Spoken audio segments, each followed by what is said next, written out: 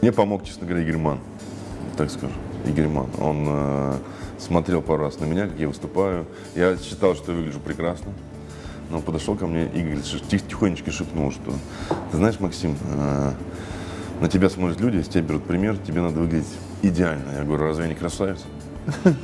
Вот, он говорит, ты красавец, конечно, но костюм надо пошить. Я носил серое и синее.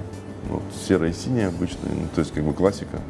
Э, И мастер, мастер, конкретно Ирина, она говорит, давай попробуем что-нибудь поэкспериментировать с тобой. Э, Давай какой-нибудь цвет. Я даже не могу сформулировать до сих пор, какой цвет она мне подобрала. Она- Ну, она говорит, вот у тебя такие глаза, у тебя такие волосы, тебе нужен костюм такого цвета, чтобы он не только на тебе хорошо сидел, но подходил под твой внешний вид, под твое лицо, под твой взгляд и так далее. Я говорю, хорошо, я полностью готов тебе довериться, давай.